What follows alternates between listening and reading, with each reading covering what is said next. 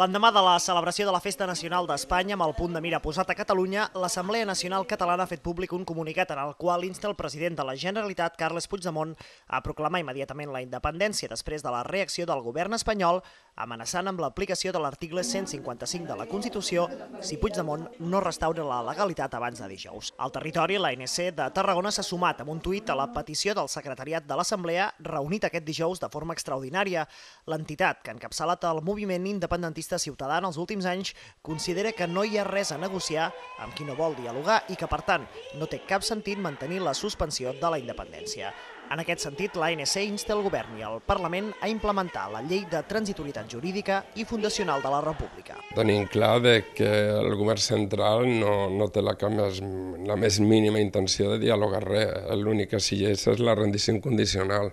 i per tant davant d'això nosaltres no ens queda més remei que tirar endavant i per tant declarar la independència i, i,